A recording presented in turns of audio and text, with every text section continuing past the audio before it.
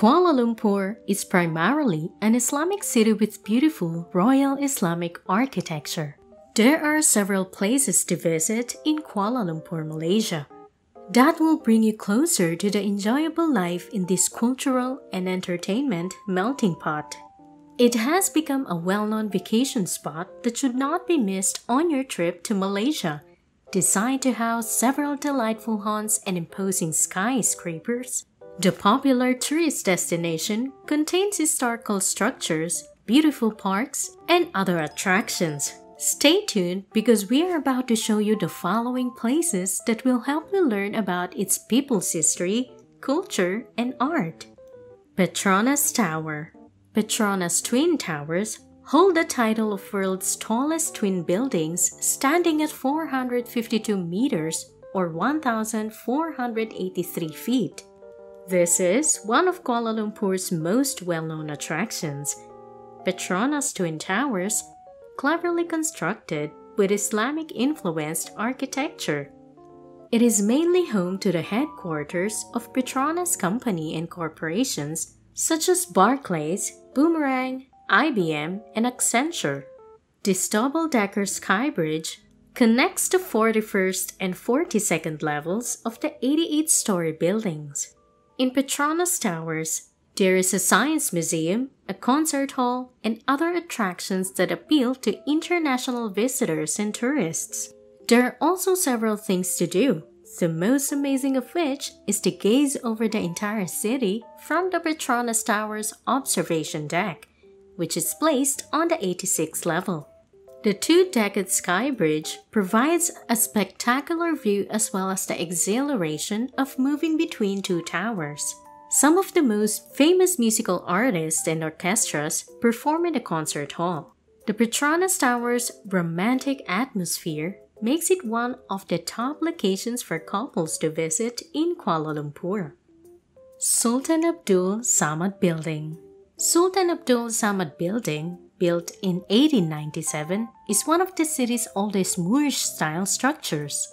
Despite its lack of official significance, the building is now one of the most popular tourist destinations in Kuala Lumpur. It is a historical landmark in the city due to its undeniable grandeur and rich heritage. The landmark building, built entirely of bricks, has strong Western and Moorish influences in its architecture. There is a wraparound imposing porch with a 42 meters or 138 feet clock tower, towering arches, and a curved portico top with copper domes. The Sultan Abdul Samad building is one of the truly remarkable places for Kuala Lumpur sightseeing, attracting many enthusiasts and architects. Its enchanting evening lighting and decoration make it a Kuala Lumpur's must-see historical landmark at night.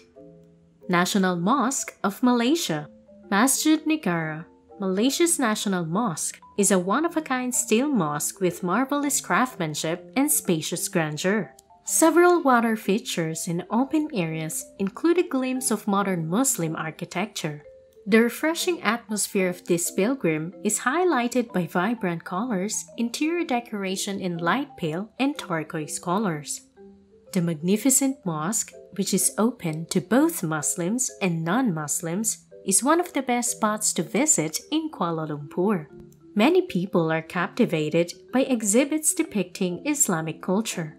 The mosque circle tour should take no more than an hour or two. Are you getting into the video? Please like and subscribe. Tourists who are not dressed appropriately with any part of their arms, legs, or head visible will be mandated to wear a purple robe. The robe will be provided free of charge and on the mosque's premises. Please take care not to disrupt the sanctity of this religious site. It is also common practice to take off your shoes when you enter the shrine. Berjaya Times Square Berjaya Times Square is yet another shop for superb shopping, entertainment, and restaurants.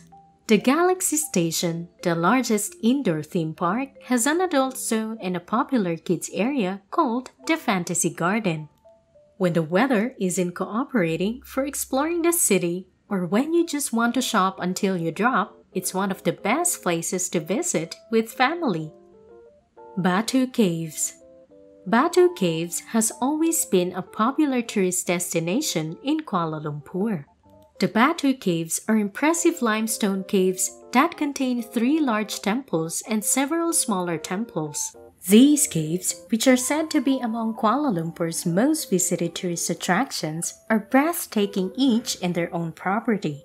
Some of these caves are more than 400 million years old. Several Hindu shrines and depictions of Hindu mythology can be found in the three major caves Cathedral Cave, Art Gallery Cave, and Museum Cave.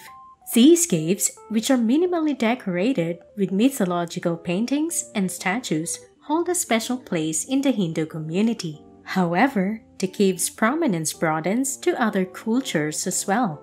Many non Hindu tourists and admirers come to experience the wonder of these limestone giants. Many documentaries have been made that illustrate the mesmerizing charm of the caves as well as the fantastic ceremonies that take place there. Kavadis may be found on your 272 step journey to the main cave. These kavadis carry heavy water storing frameworks on their bare shoulders as an offering to Lord Murugan. Don't be surprised if you see a kavadi with a kavad pierced through his skin. Little India. Brickfields, also recognized as Little India, is the hotspot of the city's Indian community. People are flocking to this miniature India to feast on Indian delicacies and make friends with Indians. It is a popular tourist destination in Kuala Lumpur. Many stories are told over a cup of coffee in the nearby food outlets. Many people buy Indian clothing with a Malaysian twist. It's extraordinary to see Kuala Lumpur streets thriving with power and cheeriness reminiscent of Indian marketplaces. Bright ornaments, brightly colored exteriors, sweet stores, Indian products, and much more await you here. Even Indians can be astonished by the celebrations, over the top design seen during festival events such as Diwali and Holi. No one can deny the fullness and authenticity of the environment. Jalan Alor. This is the best hawker food you'll ever have and one of the best places to visit at night in Kuala Lumpur. And this is not an exaggeration, we are simply stating the facts. Jalan Alor has everything from air conditioned restaurants to food hawkers to street side carts. A whiff of the aromas fill the air from the street is enough to tempt and entice you to try the delectable food. Taste Malaysian delicacies such as barbecued meat, sprinkled satay, and spiced up seafood at Jalan Alor. As you savor the dishes alongside the ambient cold wind and impaled Chinese lamps, the delectability of the dishes tends to increase tenfold. Luminescent street lamps and strategically placed trees add to the overall experience. Those who dislike the heat released by furiously crinkling grills can choose covered air conditioned restaurants. While the journey will be unique, the food will be equally delightful and enjoyable. It is no secret that it is one of the best places to visit in Kuala Lumpur. Bukit Bintang Shopping District the shopping and entertainment district of Kuala Lumpur includes a lot of several streets.